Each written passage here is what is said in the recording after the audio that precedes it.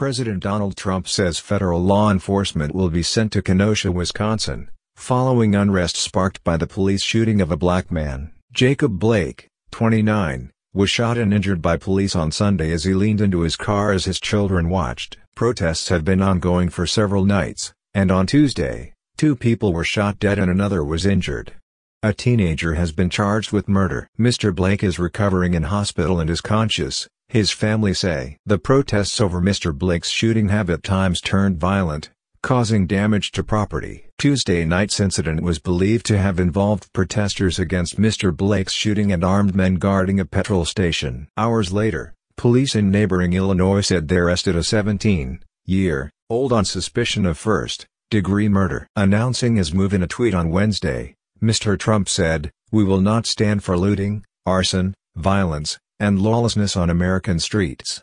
My team just got off the phone with Governor Evers who agreed to accept federal assistance, Portland should do the same. Shortly following Mr. Trump's tweet, Wisconsin Governor Tony Evers said he had authorized 500 National Guard troops to support law enforcement efforts. Kenosha Mayor John Antaramian said the FBI, Bureau of Alcohol, Tobacco, Firearms and Explosives, ATF, U.S. Marshals as well as police across the state were already involved in efforts to quell the unrest. What happened during the protests? Hours after Mr. Blake was shot on Sunday, hundreds rallied outside Kenosha's police headquarters.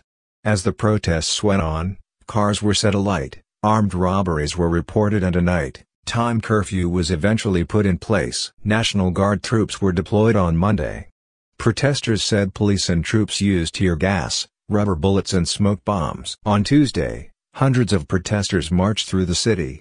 A small group threw fireworks and water bottles at police, who responded with rubber bullets and tear gas. A spokesman for the Wisconsin Professional Police Association told the BBC individuals and groups were exercising their own form of vigilantism because law enforcement was spread very thin across the city. On social media, Footage showed a man with a rifle being chased by a crowd before he fell to the ground and appeared to fire multiple rounds at them.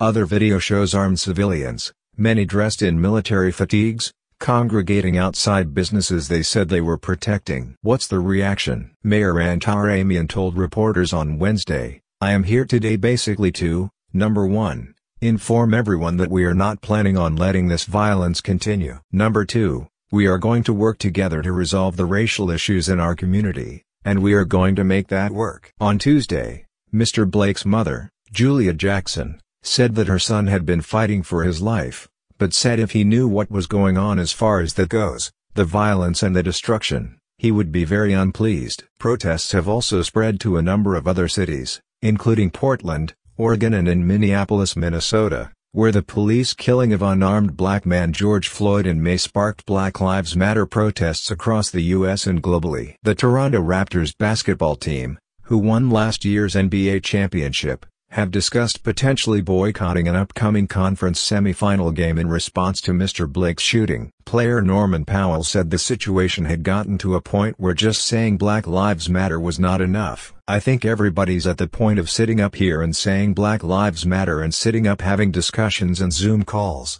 That's not getting the job done. Taking a knee for the anthem, that's not getting the job done.